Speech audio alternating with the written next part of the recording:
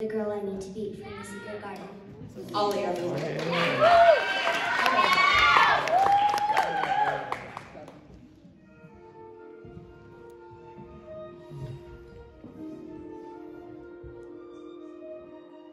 I need a place